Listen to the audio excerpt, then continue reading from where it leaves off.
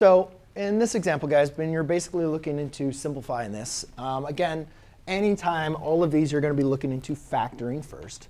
So if we, what we can see is we can factor, factor this numerator into x minus 2 times x minus 1.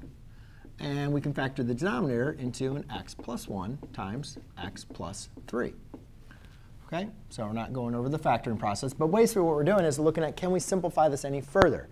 And the important thing here is that we can simplify things when we have the exact same expression, term, or number in the numerator and the denominator. But that only works when we have terms separated by multiplication. See here, we can't just divide out the x squareds because you can see that the x squareds are subtracted or added to the next term.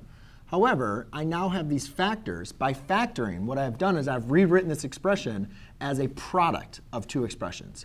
So now I can divide things if they are exactly the same. But our issue is we see that we don't have any expressions in the numerator and denominator that are exactly the same. Right? So there's really nothing I can do to simplify this.